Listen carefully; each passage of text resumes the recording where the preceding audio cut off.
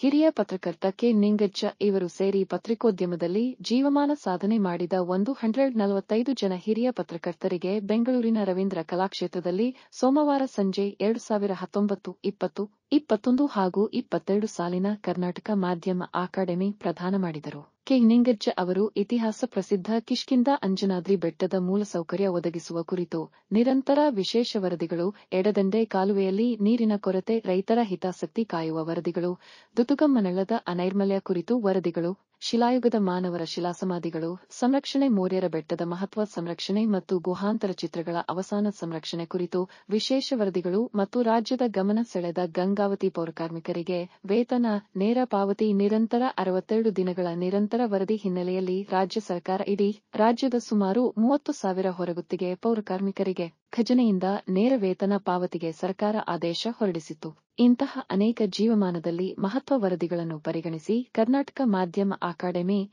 ಎರಡು ಸಾವಿರ ಹತ್ತೊಂಬತ್ತು ಸಾಲಿನ ಪ್ರಶಸ್ತಿಗೆ ಆಯ್ಕೆ ಮಾಡಿ ಪ್ರಶಸ್ತಿ ಪ್ರದಾನ ಮಾಡಲಾಯಿತು.